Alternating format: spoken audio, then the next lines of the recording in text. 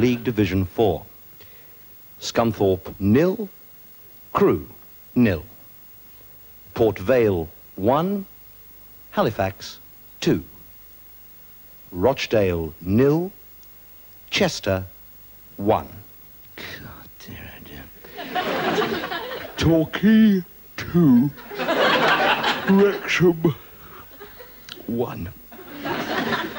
God, who's interested in this stuff? Burnley, 1. Colchester, nil. Some boring old market town in the middle of nowhere. One. Obscure coal mining village. One. Dreary seaside resort. Two.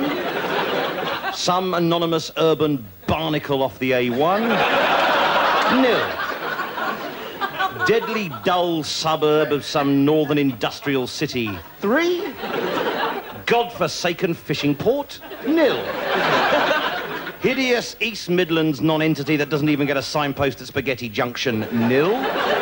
Intolerably ugly West Country sprawl that wasn't helped by a town planner having a fit one Friday afternoon. One. Depressing huddle of one up, two downs, and one Asian greengrocer dwarfed by a derelict dockyard and three giant electricity furnaces belching green smoke all day that's twin with a town in Belgium that doesn't even exist. One. Aldershot, nil.